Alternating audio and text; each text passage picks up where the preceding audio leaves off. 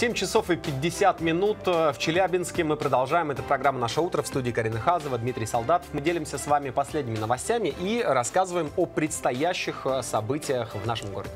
Итак, горожан приглашают провести Ночь искусств на площадках а, Челябинского музея изобразительных искусств. Ночь искусств – это большая акция, которая проводится по инициативе Министерства культуры Российской Федерации, и она объединяет множество музеев по всей стране. И каждый из них стремится представить своему зрителю самую интересную и, конечно же, увлекательную программу. Так вот, о том, что будет у нас э, в Челябинске, расскажет Виталина Силина, руководитель научно-просветительского отдела Челябинского государственного музея изобразительных искусств. Она прямо сейчас с нами на связи. Доброе утро, Виталина. Доброе утро.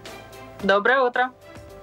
Э, Виталина, расскажите, какая тема э, взята за основу у нас в Челябинске?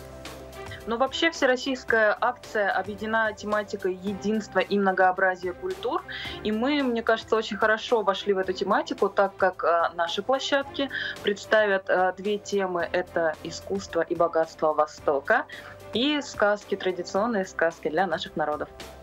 Можно начинать погружаться в атмосферу Востока, да, для того, чтобы э, попасть э, на ночь Да. искусств и быть уже в теме. Конечно. А, Виталин, мы знаем, что эм, в рамках Ночи искусств проходят многочисленные мастер-классы, лекции. Что в этом году ожидает горожан? Может, какой-то новый формат разработали? Да, конечно, мы каждый год э, разрабатываем какие-то новые интересные мероприятия. А В этом году мы постарались а, объять практически все сферы, то есть будет обязательно музыка. Музыка не простая, не классическая, а авторская. Это будут диджейские сеты, которые посвящены произведениям Гоголя. В частности, это «Вий». Будет очень Ого. Интересновато, мне кажется, как раз в стилистике акции «Ночь искусств». А также очень интересный формат в этом году новый мы разработали. Это цикл просветительских программ. Называется он «Искусство для неискушенных». А Что в первую очередь человек говорит, когда стоит перед картиной, да, что на ней изображено, как ее смотреть. И поэтому в этом году искусствовед ответит на все интересующие вопросы, как смотреть картину, как понять, что изображено на картине, какой вообще бэкграунд нужно иметь, чтобы прийти в художественный музей. Конечно же, мы подготовили очень интересные лектории от доктора философских наук, кандидата филологических наук. Они э, позволят погрузиться очень глубоко в тематику, э, заданную нами э, во время акции. И, конечно же, будет театр, наш любимый. Э, Театр Мини в этом году подготовил очень хорошую театральную программу. Ну и, конечно же, мастер-классы, когда можно будет что-то сделать своими руками, познакомиться с культурой, в частности, с культурой Востока, осязать и создать прекрасное произведение искусства. Э, Нужно ли заранее регистрироваться и будут ли какие-то ограничения по количеству э, участников в связи с новыми э, введенными ограничениями в нашей области? Вообще, как вы отнеслись э, к этому?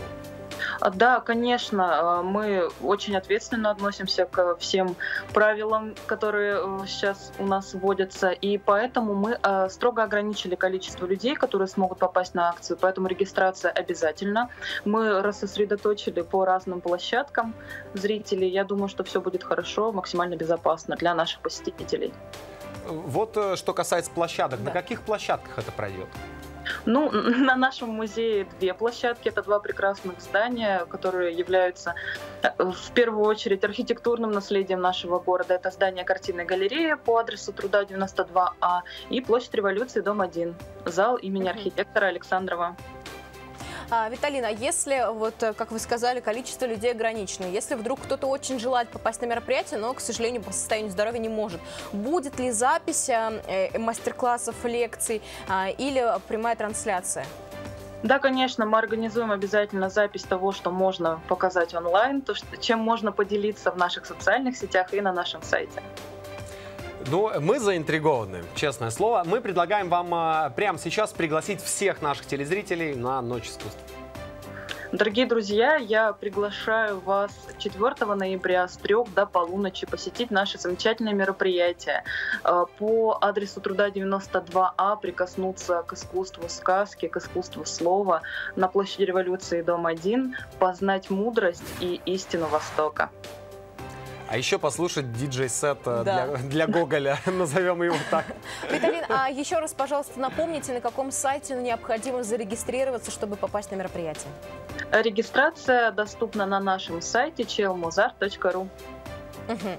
Ну все, ожидайте зрителей, программа насыщенная, и мы, конечно же, с удовольствием будем ждать записи этого мероприятия. А вам желаем хорошего такого а, мероприятия. Да и настроение на Настроение. сегодняшний день. Виталина, спасибо вам большое. Напомним, с нами на связи была Виталина Силина, руководитель научно-просветительского отдела Челябинского государственного музея изобразительных искусств. И вот правда, я нисколько э, не вру, когда говорю, что мы заинтригованы. Все классно, это Да. выглядит очень э, современно и необычно. А ты помнишь, а, совсем недавно, еще пару лет назад, онлайн-формат был немного таким стрессовым. Мы думали, Конечно. бог ты мой, а как это все воспринимать? Сейчас абсолютно нормально посмотреть прямую трансляцию или запись. А, ну что же, э, продолжим тему таких экранов. Отправимся Так. в кино. Давайте, Пора посмотреть, какие киноновинки вышли на этой неделе.